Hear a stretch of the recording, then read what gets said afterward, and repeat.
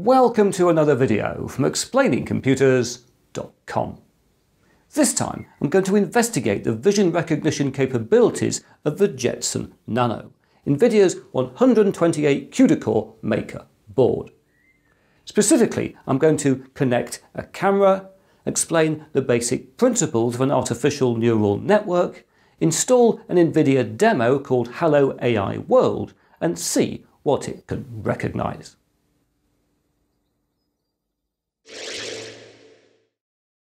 Now, here we have a Jetson Nano with a Raspberry Pi version 2 camera plugged into its Camera Serial Interface or CSI connector. And as you can see, the camera is mounted on a little tripod so we can see objects positioned at the end of the table on this nice green background. So, if we go to the Jetson Nano's Jetpack desktop, here we are, I can run up a terminal like that, and here we can run a very long command that looks like this, which should give us a preview of what the camera can see. And there we are, it works. Everything is working so far. And the idea is that later in this video, the Jetson Nano will be able to tell us what these things actually are. Yes, the Jetson Nano is a small computer not named after a fruit, but able to recognize a fruit and it will perform this magical feat using a deep neural network or DNN. And so before we install some code, I thought I should explain what a DNN actually is and how they're applied in vision recognition.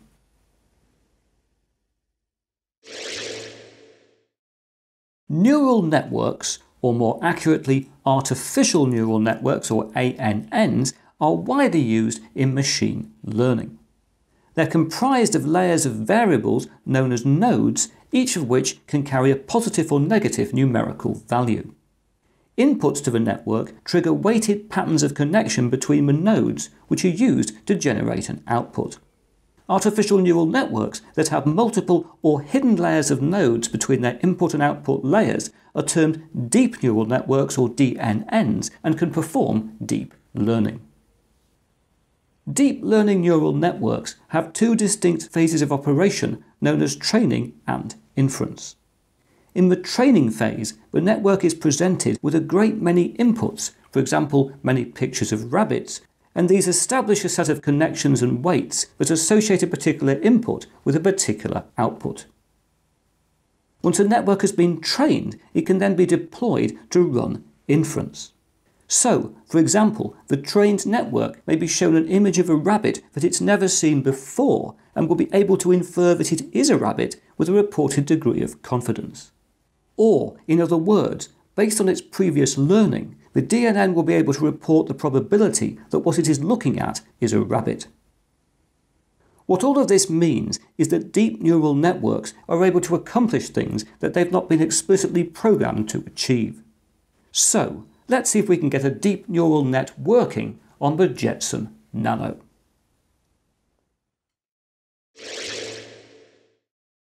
Right, we're now going to install the NVIDIA Jetson demo called Hello AI World. And this is freely available on the GitHub. Here it is, look. And this contains a pre-trained DNN that can recognize 1000 objects. And I'm going to go through the setup process quite quickly because it's all very well documented here. We just have to go down to uh, building the repro from uh, source there and you'll see everything is uh, here for us uh, on the screen. Let's just zoom it up a bit so you can see that. There we are, it's nice and nice and clear. So we'll start out in a terminal, I've got one running over there. And the first thing we need to do is to make sure that uh, Git and CMake are installed on our system. And there we are. And we now need to make a copy or a clone of the demo's repository. And I've got the uh, correct text already in the buffer because it's quite long. There we are. We'll put that in there. And there we are. We now just need to change the directory the files are in. So cd uh, jetson and uh, inference like that. And we can now run the command to make sure our files are updated and initialized.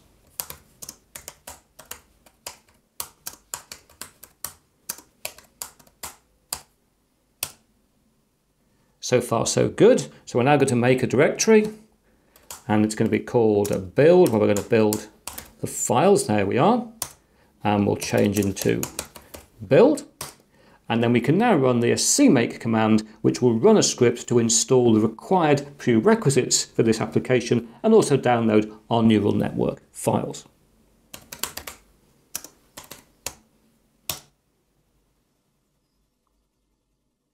Next, with that lengthy operation completed, we need to compile the project with the make command. And uh, there we are. And now finally we need to execute a, sudo make and uh, install there. And there we are, it's finished. Our demo should now be ready to execute.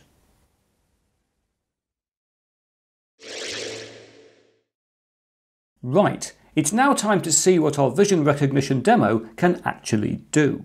And I just wanted to point out that I've removed the Ethernet lead from the Jetson Nano just to make it clear that all inference processing will be taking place locally on the board. So, if I go back to the, uh, the desktop and bring up a terminal, I've navigated to the right uh, directory, Jetson Inference Build, etc., where all the files are. I need to execute this command, which is going to be image net and camera and Google net.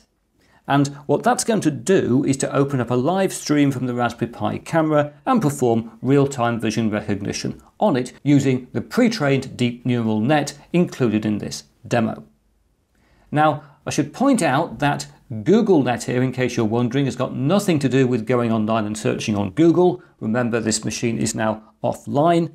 Rather, GoogleNet here refers to the type of convolution neural network, or CNN, model that we're loading in.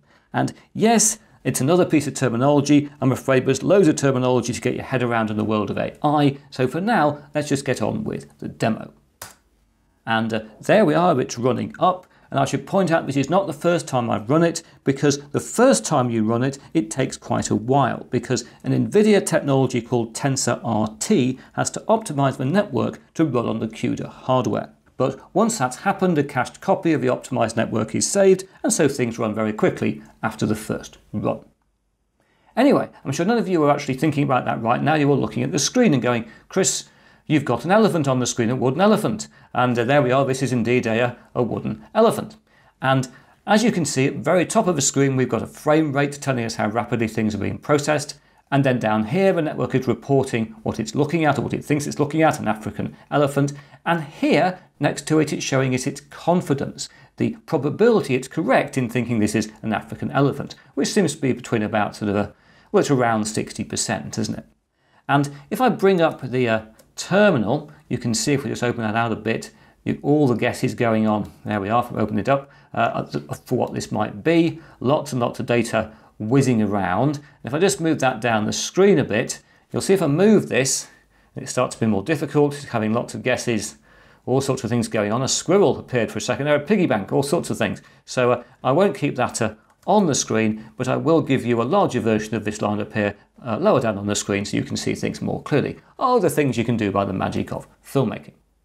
Anyway, we've proved we've got this uh, elephant thing. What else can we try and uh, identify? What have we got here? This is a... Uh, it's an orange. That's an orange. The elephant's still in the shot. Go away, elephant. It always wants to get in on the action, that elephant. Let's try um, switching fruit. Let's have a... That's a Granny Smith very high uh, confidence on Granny Smith. Look at that, 99 point something. I think it was 100 then for a second. 100% now if it is a Granny Smith as we come close to the camera. So it's, it's good at recognising not just apples, particular types of apples. And uh, presumably is it good at, say, yes, it's fairly good at the banana. Pretty certain that's a banana. It's amazing really, it's picking this thing out amid the background of my hand and everything else, isn't it? So uh, let's try um, that. What's that? It's a wooden spoon, it is correct. And if I turn it round though, I found sometimes the wooden spoon turns into a, oh it did there, turns into a ladle. When did it turn into a ladle? Just about there. I can't do it now, can I? I was going to tell you it turns into a ladle, but sometimes it does. No, it's it's fairly certain most of the time. Oh, it's a drumstick now. There we are. Now it's a wooden spoon again. Uh, vision recognition is a fascinating thing, isn't it? Uh, here we've got, what can that be? It's um, no, it's not a coffee mug. I put tea in this. Deary me, it's got that one wrong, hasn't it? And uh, This is a, what's that? Water jug, snorkel, cup, water, water bottle came up. Wasn't very good at recognising that as a water bottle, was it? This uh, part of the cup can't be helping, can it? Getting very crowded on this desk. Any better? Oh, it had a water bottle there for a second, didn't it? And um, what have we got left here? Oh, let's try that. That's a bit different. What's that? That's definitely toilet tissue. That's uh, recognised well. Although I've noticed on this object, if you do it like this, it becomes a paper towel look eventually because it can just see the end. But once you can see that, it's definitely toilet tissue. And uh, oh, this is a good one. Try this one out. I've been playing with this all day. This is, there we are, get it right on screen. It's a teapot. It recognises a teapot pretty well, and you can see lots of things uh, reflected in a teapot like that, uh, like that banana. So there we are. I won't go on forever. I'll show you, show you a couple of others. This one amuses me. This is the um, my mouse I'm using, which it thinks is a joystick, which admittedly most people think this is a joystick, but if I do that, it thinks it's a mouse and it gets it right. And uh, finally, let's look at this, which is clearly a um, wine bottle, is it a wine bottle? It is a wine bottle. It turns into other things though, that as it goes around. But no, actually, no, it's quite, quite certain it is a wine bottle with a lot of flicker. Never mind, but other than that, it's a wine bottle. So there we are. That is our look at the camera part of the NVIDIA Hello AI World demo. I should point out there's also a console part of this demo where you can actually put in things in the console. And there's also tools to help you write your own vision recognition programs.